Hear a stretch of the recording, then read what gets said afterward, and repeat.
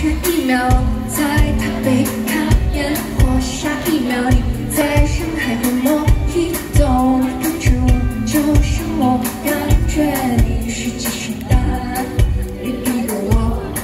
下一秒在我顶楼大雨，下一秒你在蒙古天。